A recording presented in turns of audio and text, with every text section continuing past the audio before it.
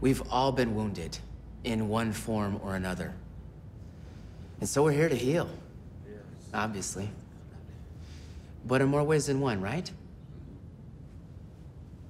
Not only from the survivor's guilt, or from the physical and mental changes that we endure or have endured, but the healing journey itself.